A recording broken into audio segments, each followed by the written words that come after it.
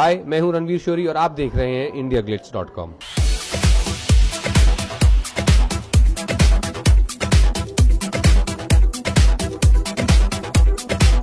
Yes, the film is about uh, the eternal universal theme of truth versus lies.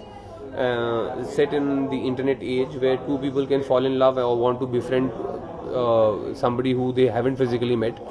And in such a scenario, uh, uh, what happens uh, when uh, truth and uh, uh, truth and lies collide? वो तब होता है जब किसी लड़की का कभी कोई कोने में जाके कुछ सीन बन रहा हो और कुछ मतलब जैसे कहीं कास्टिंग हो रही है या कोई बॉयफ्रेंड बनने वाला है तो शायद हो सकता है कि लड़कियाँ झूठ बोलती हों अपनी उम्र को लेके बट बाय एंड लार्ज ये भी क्लीशे ही है बट हाँ ये माना जाता है एटलीस्ट अंग्रेज़ तो कहते हैं कि बहुत रूड होता है लड़कियों की उम्र पूछना।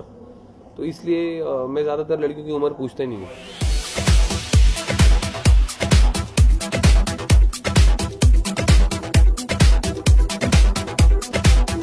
Not brainwash see Shubhendu and Gagan are really thick friends and they have different outlooks in life so obviously both of them try to rub themselves off on the other end in that there's a lot of uh, friction.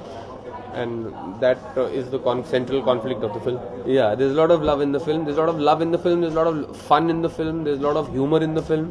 But I've told you, yes, the central conflict of the film is good versus evil, truth versus lies.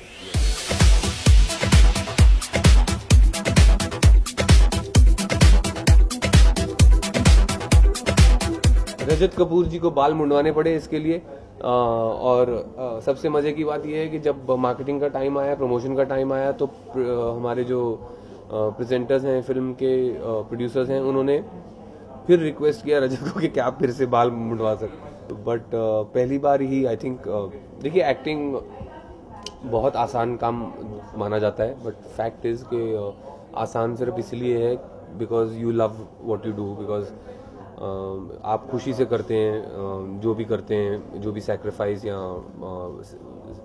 या जो hard work करना पड़ता है role के लिए। But ऐसी बात नहीं है। एक्टिंग में बहुत सेक्रीफाइसेस करनी पड़ती हैं, कोई किसी किसी रोल के लिए बहुत कुछ करना पड़ता है। और उसका एक बहुत बेहतरीन एग्ज़ाम्पल है।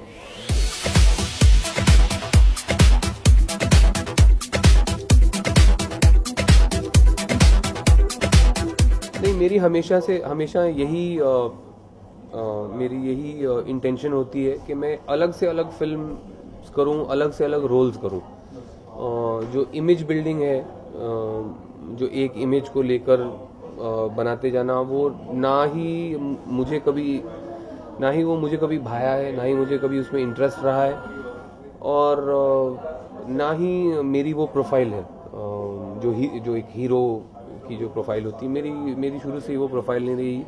मेरे कैरेक्टर एक्टर रहा हूँ और अब मैं लीड रोल्स भी करता हूँ तो मैं वही वही फ़िल्म में पकड़ता हूँ जहाँ पे लीड में एक स्ट्रॉन्ग क्लियर कैरेक्टर हो।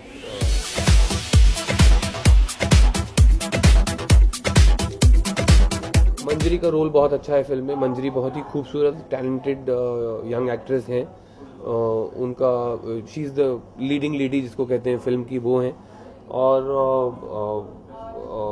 शी इज़ द क्या कहते हैं central desire object of desire इस फ़िल्म की। और बहुत अच्छा काम किया है उन्होंने। रियल लाइफ में मैं झूठ बोलता हूँ, सच्ची बात है बोलता हूँ।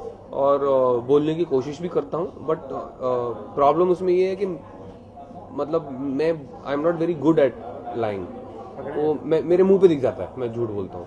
हाँ गर्दन भी और एक दूसरा पोस्टर है जिसमें इनके सर पे मक्खी बैठी और मैं वो न्यूज़पेपर लेके मारने की कोशिश कर रहा हूँ वो पता नहीं कहाँ है poster the U S P of I am twenty four is that it is super fun it's a small film but it's big on fun and I think people will really enjoy it